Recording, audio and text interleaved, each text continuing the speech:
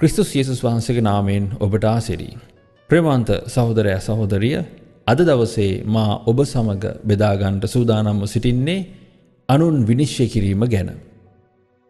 ශුද්ධ ලියවිල්ලේ මතයුතුමාගේ සුභාරංචියයේ හත්වනි පරිච්චේදේ පළවෙනි සහ දෙවනි වගන්තිවල මෙන්න මෙහෙම තිබෙනවා.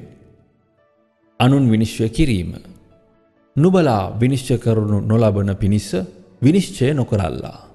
මක් නිසාද නුබලා යම් විනිශ්චයකින් විනිශ්්‍ය කරන්නෙහුද එයින්ම නුබලාත් විනිශ්්‍ය කරනු ලබන්නෙහුය. යම් මිම්මකින් නුබලා මැන දෙන්නෙහුද එයින්ම නුබලාටත් මැන දෙනු ලබන්නේය.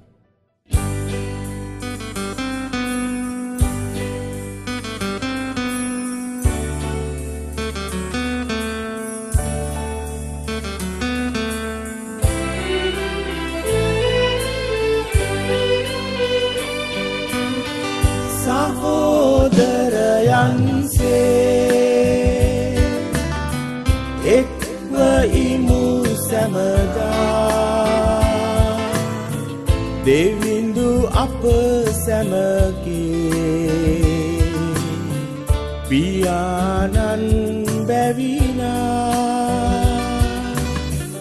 දුක සැපයි එන්නේ. වෙන් නොවී කිසිදා. ලස්සනයි ලෝ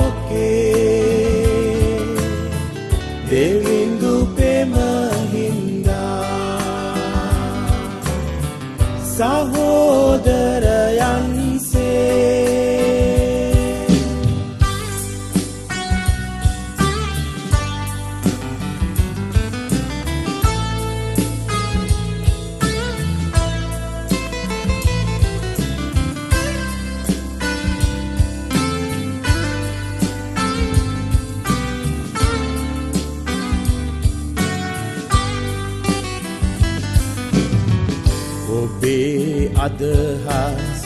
මගේ අදහස් වෙනස් වන විටදී. එකම පියෙකුගේ හඬ ඇසුණු කල එයට කීකරුවී. විවිධ සිතුවිලි ඇතත් අප තුළ එක මඟක පිවිසී. එකට යන්නට සවිය දුන්නේ දෙවිඳු පිහිට ලැබී. සහෝදරයන්සේ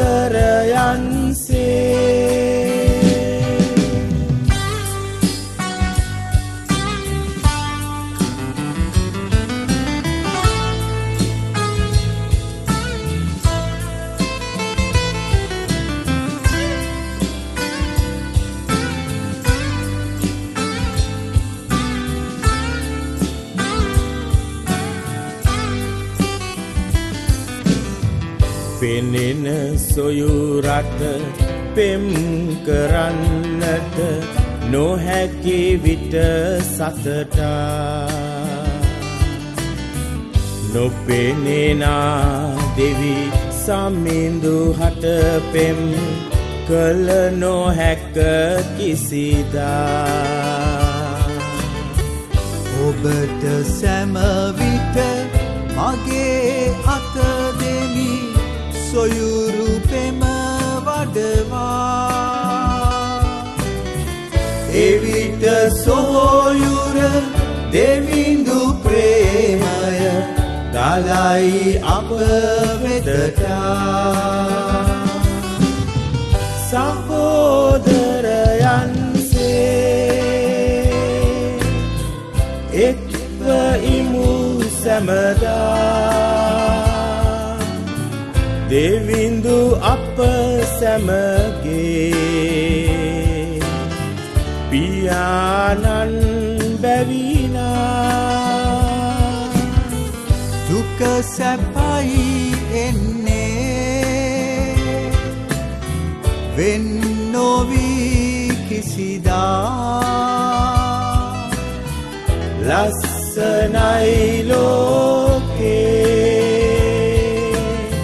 දෙවිඳු පෙමහින්දා සහෝදරයන්සේ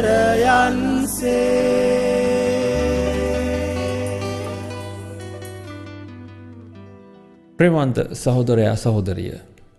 අපි දන්නවා යේසුස් වහන්සේ උන්වහන්සේගේ සේවා කාලය තුළ බොහෝ දේ අපේ ජීවිතවලට අදාළ වන පරිදි උන්වහන්සේ දේශනා කළා. අප ඇසුවා වූ බයිබල් පරිච්චේදයේ ඒ කොටස තුළත් උන්වහන්සේ ඉතා වැදගත් කාරණයක් අපට පෙන්වාදීලා තිබෙනවා. එහි සඳහන්ව තිබෙනවා නුබලා විනිශ්්‍ය කරනු නොලබන පිණිස විනිශ්්‍ය නොකරල්ලා. විනිශ්්‍ය කරනවා කියලා කියන්න මොකක්ද. විනිශ්්‍ය කිරීම යනු කෙනෙක් හරිද වැරදිද යන වග අප විසින් තීරණය කිරීම.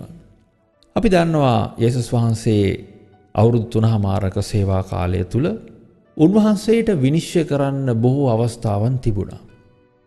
උන්වහන්සේ ළඟට මනුෂ්‍යයන් විසින් විවිධ පුද්ගලයන්ව අරගෙන ආව සහ විවිධ හේතු ගෙනවා යේසුස් වහන්සේගේ විනිශ්්‍යය කුමක්ද කියලා මිනිස්සු දැනගන්න.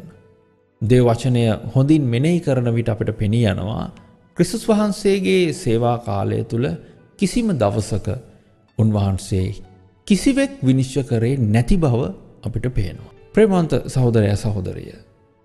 ඔබට මතකනම් යේසුස් වහන්සේ ළඟට වෛශ්‍යය ස්ත්‍රිය ගෙනාපු වෙලාවෙත් උන්වහන්සේ ඇයව විනිශ්්‍ය කරේ නෑ. ඒවගේම විවිධ අවස්ථාවන් වල යේසුස් වහන්සේ ළඟට විවිධ පුද්ගලයන්ව ගෙනවා විවිධ හේතු ගෙනවා උන්වහන්සේ ඒ කිසිවක් විනිශ්්‍ය කරන්න ගිය නෑ. උන්වහන්සේම මෙතන කියනවා නුබලා විනිශ්්‍ය කරනු නොලබන පිණිස්ස කිසිවෙක් විනිශ්්‍ය කරන්න එපා මේක අපි සරල භාෂාවෙන් කිව්වොත් නුබලා විනිශ්්‍ය කරනු නොලබන පිණිස කිසිවෙක් හරිද වැරදිදි යන වග තීරණය කරන්න එපා කියන එක.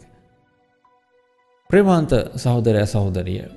අපි යේසුස් වහන්සේගේ කුරුසපත්වීමේ කාලය ගැන කල්පනා කළොතින් අපිට පෙනෙනවා යේසුස් වහන්සේගෙත් වරදක් කිසිවෙකුට හොයා ගණ්ඩ බැරි වෙනවා. ඒ විවිධ ආණ්ඩුකාරවරු විවිධ උසස් නිලධාරීන් ඔවුන් කියනවා මේ පුද්ගලයා අත වරදක් අපට සම්භ වෙන්නේ නැහැ කියලා.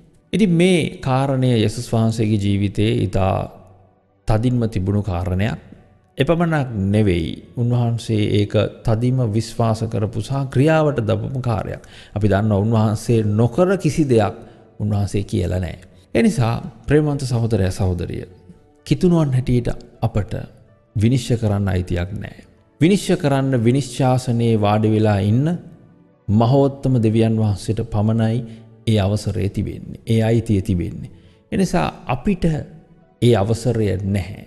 අප කිසිවෙක් විනිශ්්‍ය නොකළ යුතුයි. අපි කිසිවෙක් හරිද වැරදීද යන්න තීරණය නොකළ යුතුයි.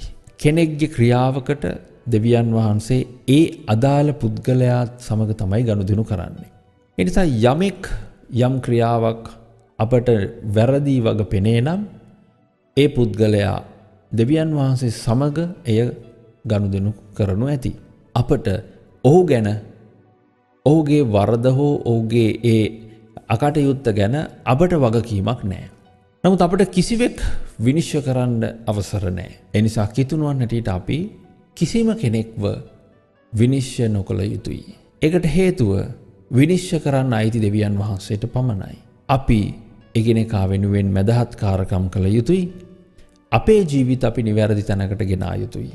අපි දන්නවා මේ කොටස පල්ල හැටි කියවගෙන යනකොට උදාහරණයක් උන්වහන්සේ ගන්නවා. නුබේ ඇසේ දැවයක් තිබෙනකොට තව කෙනෙක්ගේ ඇසක රොඩ්ඩක් අයින් කළ නොහැකි බව. එලෙස උන්වහන්සේ උදාහරණයක් අරගෙන පෙන්නනවා. අනුන්ව නිවැරදි කිරීම අපට කළ නොහැකි බව. හේතුව අපි කිසිපිටකත් අපේ ඇහේ රොඩ්ඩක් නැතයයි කීම නුසුදුසුයි. ඒට හේතුව අපිත් නිවැරදිමයයි ප්‍රකාශ කළ නොහැකි. නමුත් ප්‍රේමවන්ත සහෝදරයා සහෝදරිය යෙසුස් වහන්සේගේ ඒ මහත් වූ අනුග්‍රාය අප කෙරෙහිද මේ සමස්ත ලෝකය කෙරෙහිද තිබෙනවා. අපි යමෙක්ව විනිශ්්‍යකරොත්. ඒ මින්මෙන්ම උන්වහන්සේ අපිවද මනින්ට යනවා. අපි යමෙක්ව විනිශ්්‍යකරොත් දවසක අපිත් වරදකාරය බවට පත්වෙනවා. අපි යමෙකුට චෝදනා කළොත් දවසක අපිටත් මිනිස්සු චෝදනා කරන්න යනවා. අපි යමෙක්ව වැරදිකාරයෙක් බවට පත් කළොත්. වැරදිකාරයෙක් යැයි අපි විසින් තීන්දු කළොත්. දවසක ලෝකයාම අපි වැරදිකාරයෙක් බවට තීන්දු කරන්න යනවා. මේක දේව වචනය තිබෙන දෙයක්. උන්වහන්සේ කියනවා විනිශ්්‍ය කරනු නොලබන පිණිස්ස නොබලාත් විනිශ්‍ය නොකරන්න. එනිසා ප්‍රේමවන්ත සහෝදරය සහෝදරිය කිසිවෙක් විනිශ්්‍ය කිරීමේ අයිති අපට නැහැ. කිසිවෙක් වරදට පත් කිරීමේ අයිතිය අපට නැහැ. කිසිවෙක් හෙලා දැකීමේ අයිති අපට නැහැ. අපට තිබෙනවා මනුෂ්‍යයන් වෙනුවෙන් පෙනී සිටීම මනුෂ්‍යයන් ඔසවා තැබීම ඔවුන් වෙනුවෙන් යාඥා කිරීම ඔවුන් වෙනුවෙන් මැදහත්කාරකම් කිරීම. අපි දේවදරුවන් හැටියට උන්වහන්සේ ගිය අඩිපාරය යන්න උත්සාහවන්ත වෙමු. අපි අපේ ජීවිත ගැන හැරිල බලලා අපේ ක්‍රියාකලාපයන් ගැන අපි හැරිල බලලා අපේ ජීවිත අපි නිවැරදි තැනකට ගේෙන් උත්සාහවන්ත වෙමු. පවුලුතුමා කියනවා. අපි අපවම සෝදිසි කරනවන අපි අපිවම විනිශ්්‍ය කරගන්නවන වෙන කෙනෙක් අපිව විනිශ්්‍ය කරන්න යන්නේ නැති බව. එනිසා අපි අපිවම සෝදිසි කරගන්නවනම්. අපි අපිවම නිවැරදි කරගන්න උත්සාහවන්ත වෙනවනම් ඒකට දෙවියන් වහන්සේ ඉත්තාමත්ම කැමති. ප්‍රේමවන්ත සහෝදරය සහෝදරිය ඔබත් මමත් අපි එකිනෙකාව උසුලාගෙන යන එකිනෙකා වෙනුවෙන් කැපවෙන එකිනෙකාව දරාගන්න එකිනෙකා වෙනුවෙන් මැදහත්කාරකම් කරන සැබෑ දේව දරුවන් වෙමු. ඔබට ජේසු පිහිටයි. මම දිනේශ් කමුරුගමුව එරෝමා නමස්කාර කණ්ඩායම.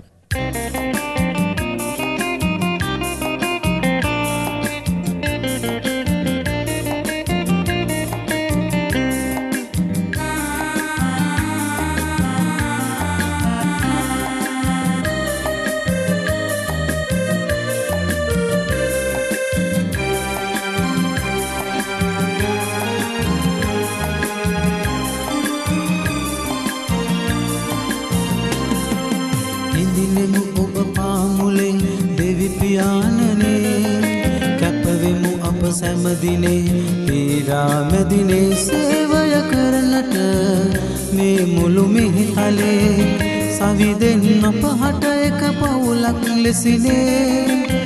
සේවය කරනට මේ මුළු මෙහිතලේ සවිදෙන් අපහට එක පවුලක් ලෙසිනේ.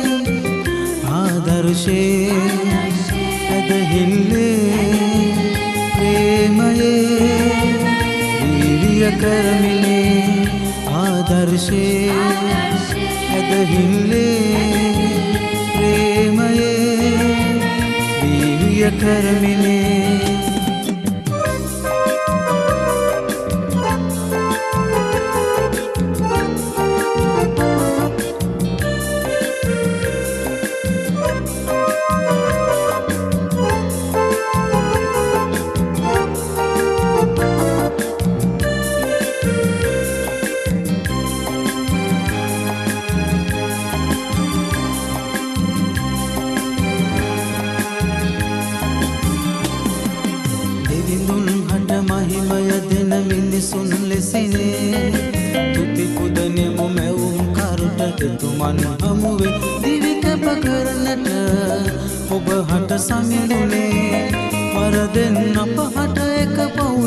පවුලක් ලෙසිනේ දිවිකැප කරනට ඔබ හට සමිඳුනේ.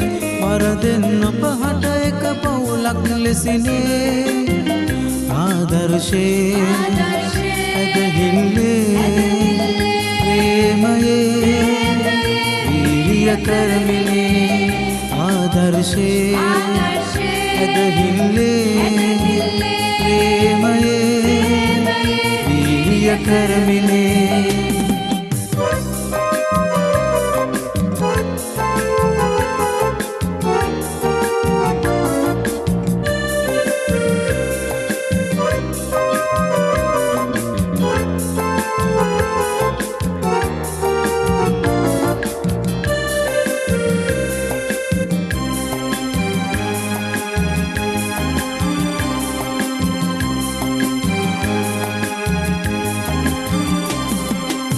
ඇදහිල්ලෙන් ප්‍රේමෙන් පිරි සභාවක් ලෙසින් ඉවසිලිවන්තව තබනෙමු ඔබ තුළ පැතුමන් වීරිය කරනට නොපැකිල සැමවිට ජය දෙන්න අපහට එක පවුලක් ලෙසිනේ වීරිය කරනට නොපැකිල සැමවිට ජය දෙන්න පහට එක පවුලක් ලෙසිනේ ආදර්ශේ.